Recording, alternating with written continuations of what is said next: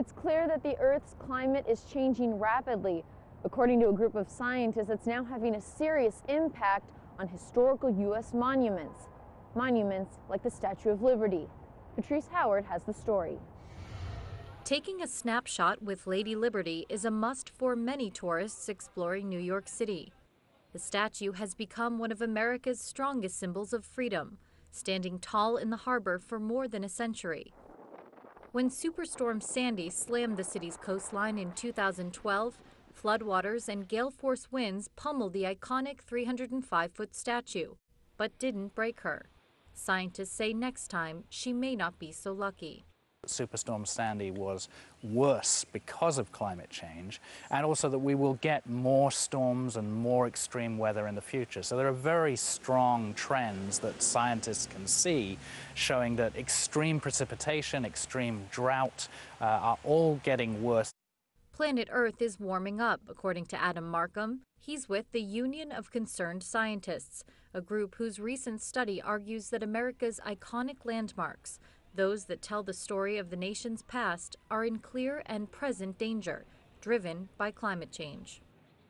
The report points to Lady Liberty, nearby Ellis Island, and more than 20 other historic hotspots that will be wiped out by bad weather unless lawmakers and local citizens alike take steps to mitigate the effects of climate change.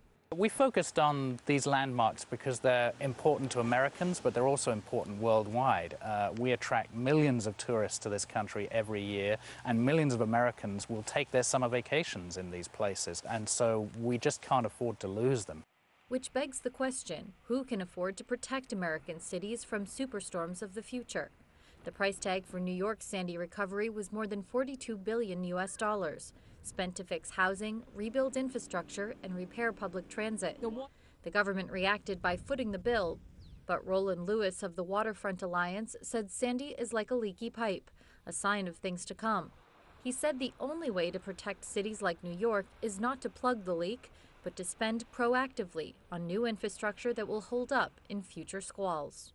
There's hundreds of millions, billions of dollars of investment to readjust re, uh, you know, uh, acclimate uh, our infrastructure, our coastline to sea level rise. It's a gigantic investment. It takes taxes, resources, financing. It'll take engineering. It's a, it's a put the man on the moon mission. It's, it's something we all have to get, gather around.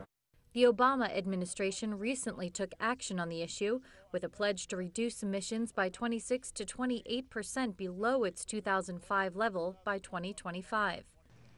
We have to work together as a global community to tackle this global threat before it is too late.